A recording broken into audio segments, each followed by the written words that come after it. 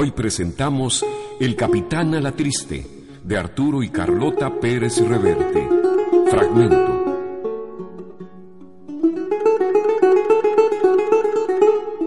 Capítulo primero. La taberna del turco.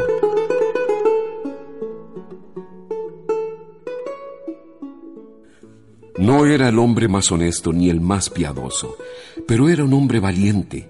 Se llamaba Diego Alatriste y Tenorio, y había luchado como soldado de los tercios viejos en las guerras de Flandes. Cuando lo conocí, malvivía en Madrid, alquilándose por cuatro maravedís en trabajos de poco lustre, a menudo en calidad de espadachín por cuenta de otros que no tenían la destreza o los arrestos para solventar sus propias querellas. Ya saben, un marido cornudo por aquí, un pleito o una herencia dudosa por allá, deudas de juego pagadas a medias y algunos etcéteras más.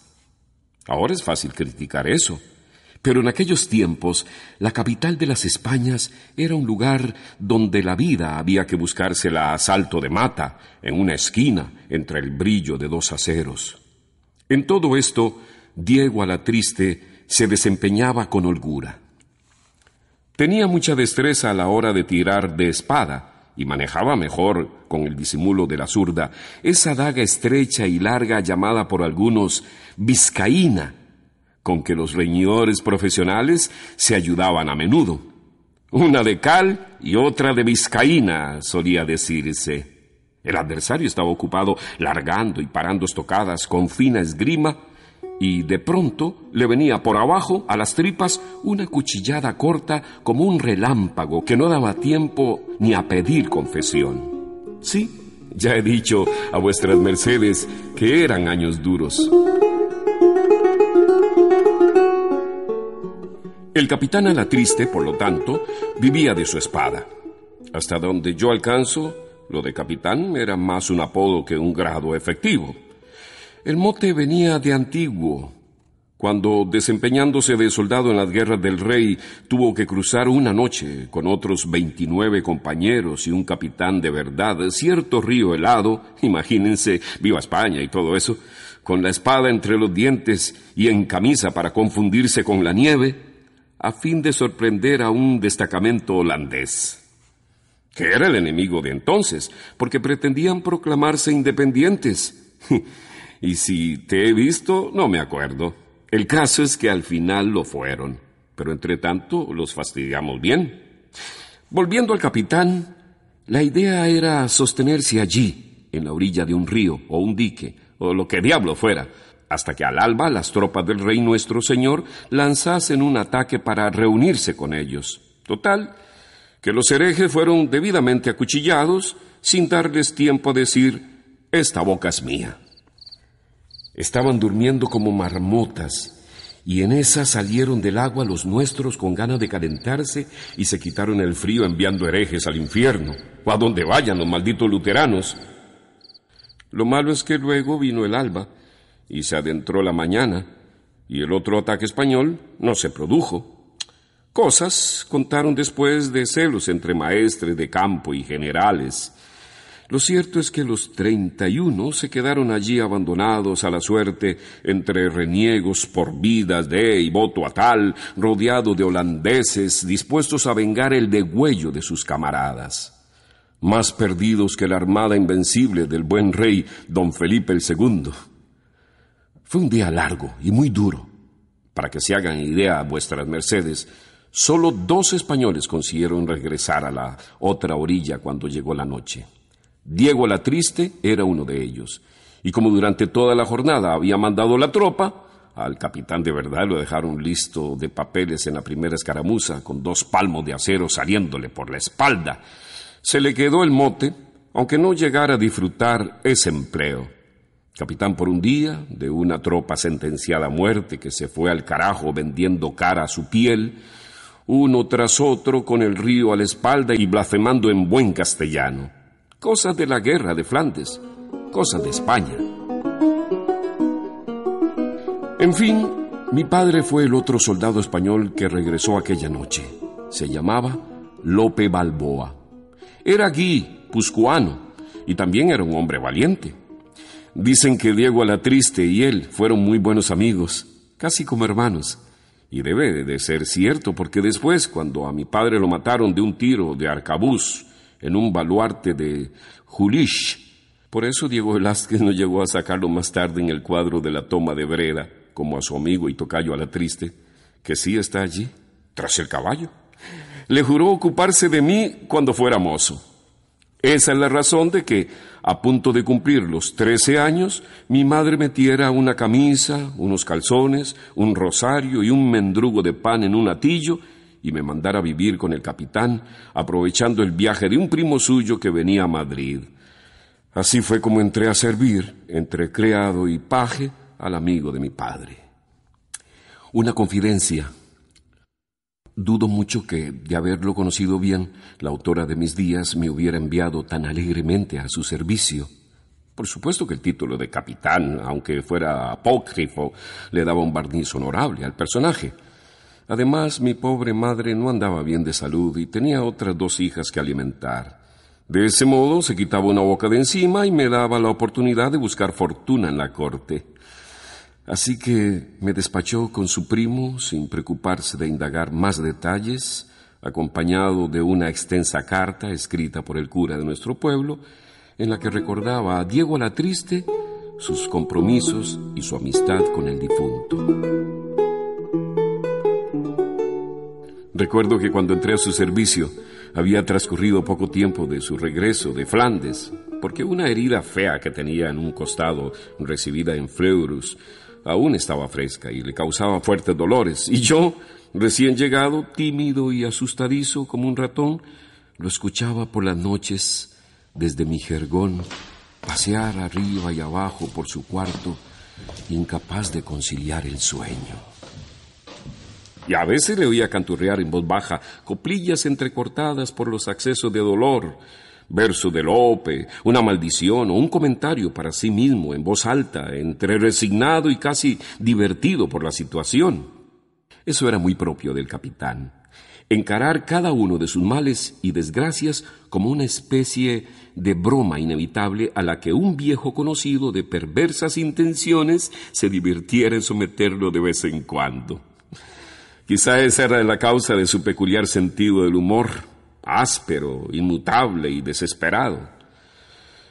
Ha pasado muchísimo tiempo y me embrollo un poco con las fechas, pero la historia que voy a contarles debió de ocurrir hacia el año mil seiscientos y veintitantos, poco más o menos. Es la aventura de los enmascarados y los dos ingleses que dio no poco que hablar en la corte y en la que el capitán no solo estuvo a punto de dejar la piel remendada que había conseguido salvar de Flandes, del turco y de los corsarios berberiscos, sino que le costó hacerse un par de enemigos que ya lo acosarían durante el resto de su vida. Me refiero al secretario del rey nuestro señor, Luis de Alquézar, y a su siniestro sicario italiano, aquel espadachín callado y peligroso que se llamó Gualterio Malatesta tan acostumbrado a matar por la espalda que cuando por azar lo hacía de frente se sumía en profundas depresiones, imaginando que perdía facultades. También fue el año en que yo me enamoré como un becerro y para siempre de Angélica de Alquesa, perversa y malvada como solo puede serlo el mal encarnado en una niña rubia de 11 o 12 años. Eh, pero cada cosa la contaremos a su tiempo. Me llamo Íñigo y mi nombre fue lo primero que pronunció el capitán a la triste la mañana en que lo soltaron de la vieja cárcel de corte, donde había pasado tres semanas a expensas del rey por impago de deudas. Lo de las expensas es un modo de hablar, pues tanto en esa como en las otras prisiones de la época, los únicos lujos, bien lujos incluíase la comida, eran los que cada cual podía pagarse de su bolsa. Por fortuna, aunque al capitán lo habían puesto en galeras casi ayuno de dineros, contaba con no pocos amigos. Así que entre unos y otros lo fueron socorriendo durante su encierro, más llevadero merced a los potajes que caridad, la lebrijana, la dueña de la taberna del turco, le enviaba conmigo de vez en cuando, y algunos reales de a cuatro que le hacían llegar sus compadres, don Francisco de Quevedo, Juan Vicuña y algún otro. En cuanto al resto, y me refiero a los percances propios de la prisión, el capitán sabía guardarse como nadie. Notoria era en aquel tiempo la afición carcelaria a aligerar de bienes, ropas y hasta de calzado a los mismos compañeros de infortunio. Pero Diego a la triste era lo bastante conocido en Madrid, y quien no lo conocía no tardaba en averiguar que era más saludable andársele con mucho tiento. Según supe después, lo primero que hizo al ingresar en el Estaribel fue irse derecho al más peligroso jaque entre los reclusos y tras saludarlo con mucha política, ponerle en el gaznate una cuchilla corta de matarife, que había podido conservar merced a la entrega de unos maravedíes al carcelero, eso fue mano de santo. Tras aquella inequívoca declaración de principios, nadie se atrevió a molestar al capitán, que en adelante pudo dormir tranquilo envuelto en su capa en un rincón más o menos limpio del establecimiento, protegido por su fama de hombre de hígados. Después, el generoso reparto de los potajes de la lebrijana y las botellas de vino compradas al alcaide con el socorro de los amigos aseguraron sólidas lealtades en el recinto, incluida la del rufián del primer día, un cordobés que tenía por mal nombre Bartolo Cagafuego, quien a pesar de andar en jácaras, como habitual de llamarse a iglesia y frecuentar galeras, no resultó nada rencoroso. Era esa una de las virtudes de Diego la Triste. Podía ser amigos hasta en el infierno. Parece mentira, no recuerdo bien el año. Era el 22 o el 23 del siglo. Pero de lo que estoy seguro es que el capitán salió de la cárcel una de esas mañanas azules y luminosas de Madrid con un frío que cortaba el aliento. Desde aquel día, que ambos todavía lo ignorábamos, tanto iba a cambiar nuestras vidas. Ha pasado mucho tiempo y mucha agua bajo los puentes de Manzanares, pero todavía me parece ver a Diego la triste flaco y sin afeitar, parado en el umbral con el portón de madera negra claveteada cerrándose a su espalda. Recuerdo perfectamente su parpadeo ante la claridad cegadora de la calle, con aquel espeso bigote que le ocultaba el labio superior, su delgada silueta envuelta en la capa, y el sombrero de ala ancha bajo cuya sombra entornaba los ojos claros, deslumbrados, que parecieron sonreír al divisarme sentado en un pollete de la plaza. Había algo singular en la mirada del capitán. Por una parte era muy clara, y muy fría, glauca como el agua de los charcos en las mañanas de invierno. Por otra, podía quebrarse de pronto en una sonrisa cálida y acogedora como un golpe de calor fundiendo una placa de hielo mientras el rostro permanecía serio, inexpresivo o grave. Poseía, aparte de esta, otra sonrisa más inquietante que reservaba para los momentos de peligro o de tristeza una mueca bajo el mostacho que torcía éste ligeramente hacia la comisura izquierda, y siempre resultaba amenazadora como una estocada que solía venir acto seguido, o fúnebre como un presagio cuando acudía al hilo de varias botellas de vino, de esas que el capitán solía despachar a solas en sus días de silencio. Asumbre y medio sin respirar, y aquel gesto para secarse el mostacho con el dorso de la mano, la mirada perdida en la pared de enfrente. Botellas para matar a los fantasmas, solía decir él, aunque nunca lograba matarlos del todo.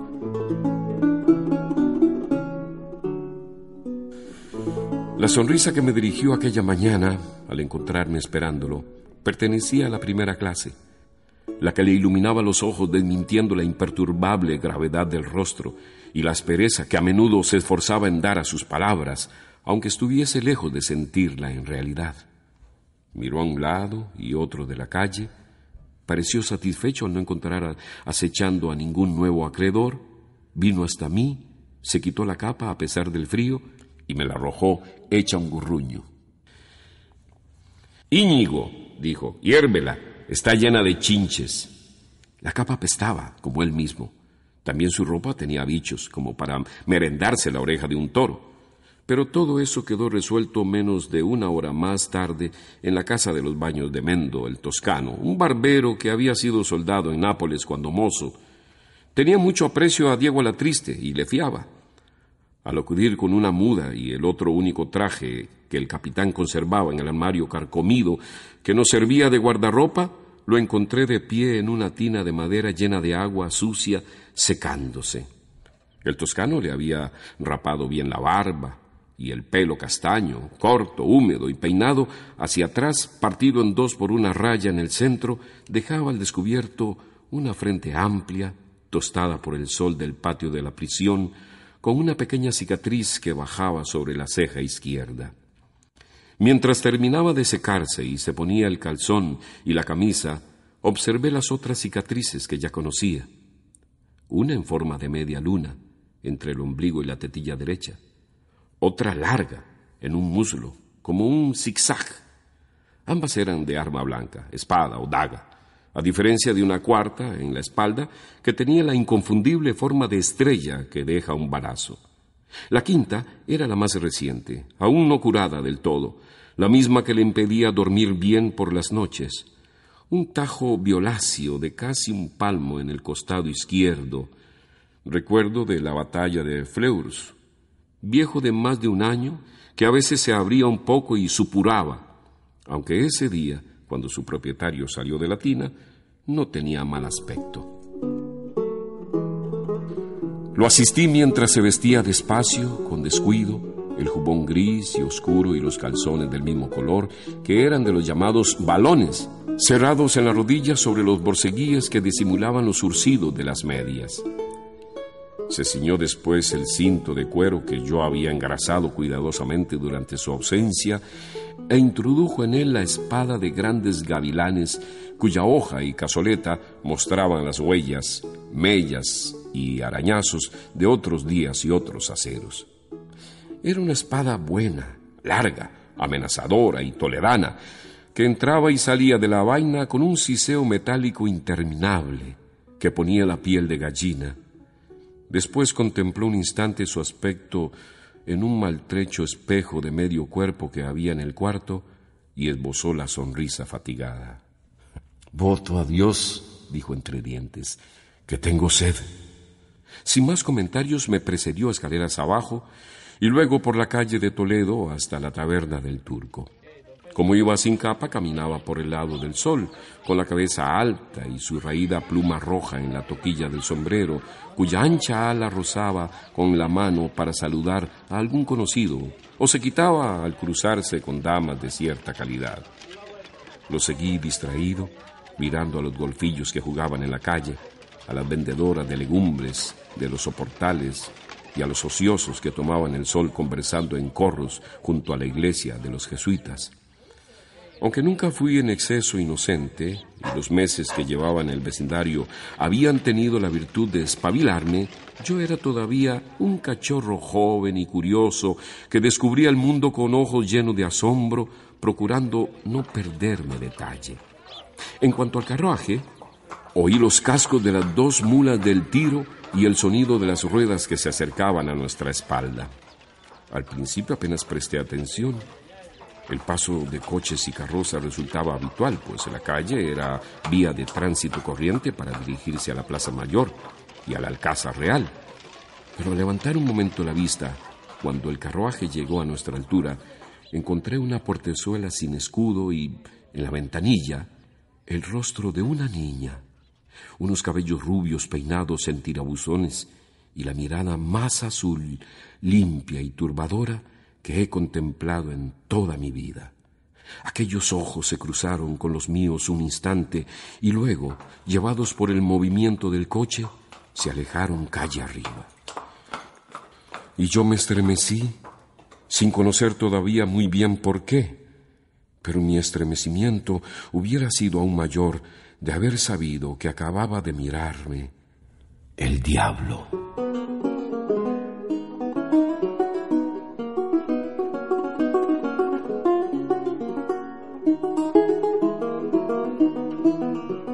No queda sino batirnos, dijo don Francisco de Quevedo.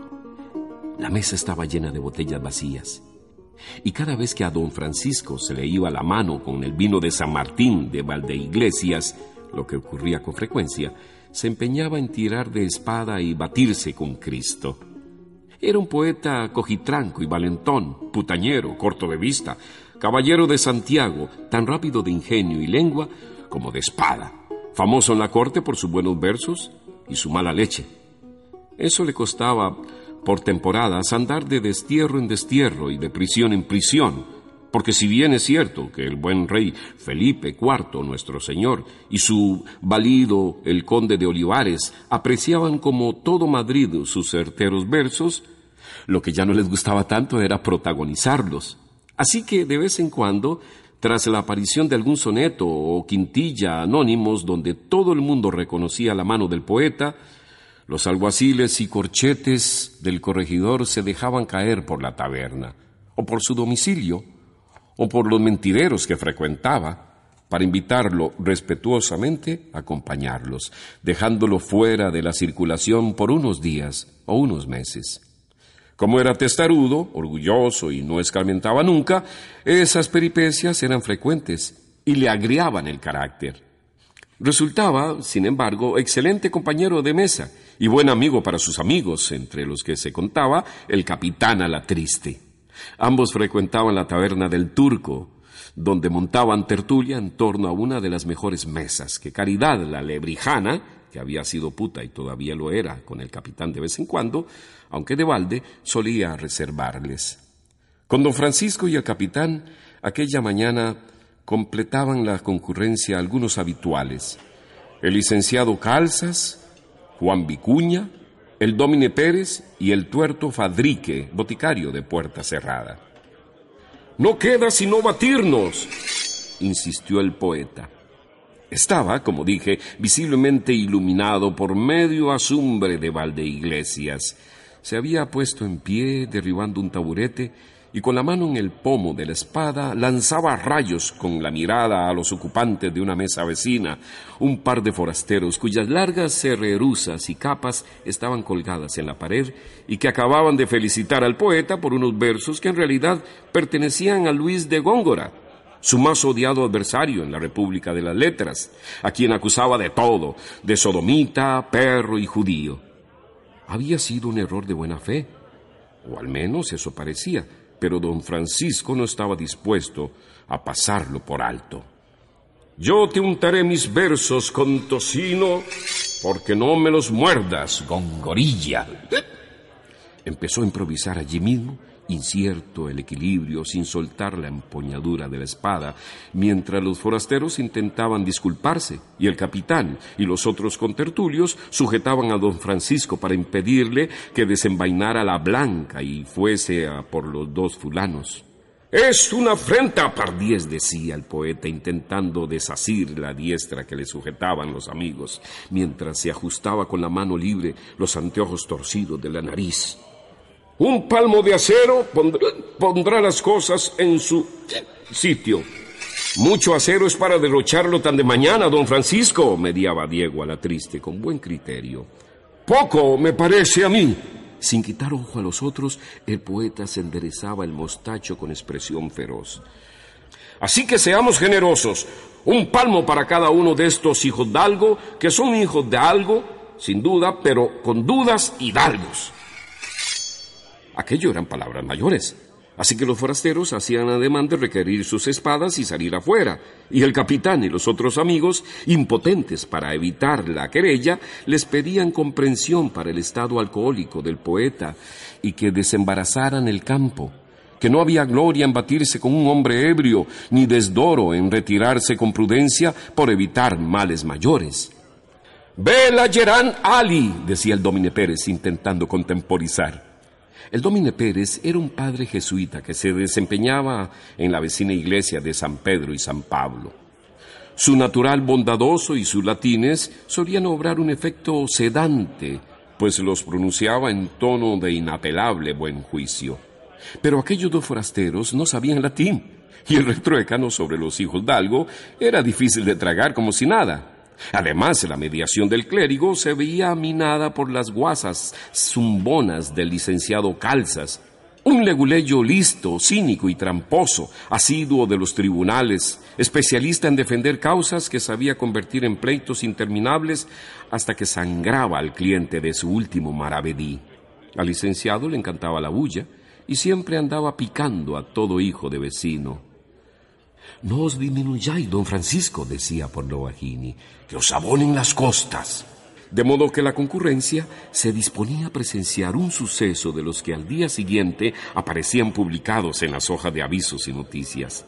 Y el capitán a la triste, a pesar de sus esfuerzos por tranquilizar al amigo, empezaba a aceptar como inevitable el verse acuchilladas en la calle con los forasteros por no dejar solo a don Francisco en el lance. ¡Ayo te vincre pose!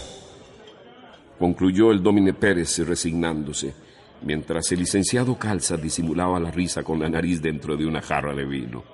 Y tras un profundo suspiro, el capitán empezó a levantarse de la mesa. Don Francisco, que ya tenía cuatro dedos de espada afuera de la vaina, le echó una amistosa mirada de gratitud y aún tuvo asaduras para dedicarle un par de versos. Tú, en cuyas venas laten a la tristes, a quienes ennoblece tu cuchilla. No me jodáis, don Francisco, respondió el capitán malhumorado. Riñamos con quien sea menester, pero no me jodáis. Así ahora los hombres, dijo el poeta, disfrutando visiblemente con la que acababa de liar. El resto de los contertulios lo jaleaba unánime, desistiendo como el Domine Pérez de los esfuerzos conciliadores y en el fondo encantado de antemano con el espectáculo. Pues si don Francisco de Quevedo, incluso mamado, resultaba un esgrimidor terrible, la intervención de Diego Alatriste como pareja de baile no dejaba resquicio de duda sobre el resultado. Se cruzaban apuestas sobre el número de estocadas que iban a repartirse a escote los forasteros, ignorantes de con quiénes se jugaban los maravedíes.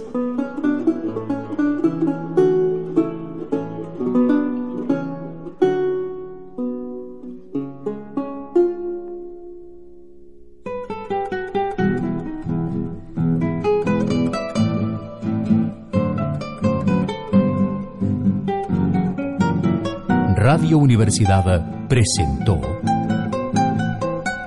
Mis lecturas por la radio.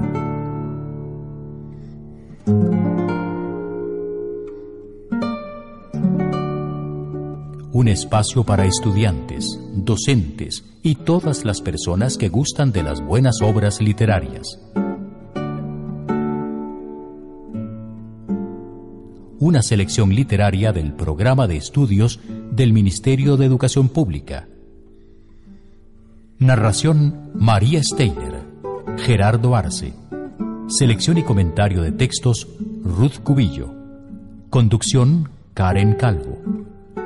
Asistente de producción Alejandra Carballo. Producción general Ruth Cubillo y Fernando Mora. Grabación, edición y musicalización Fernando Mora. Dirección General Liliana Solís y Giselle Bosa.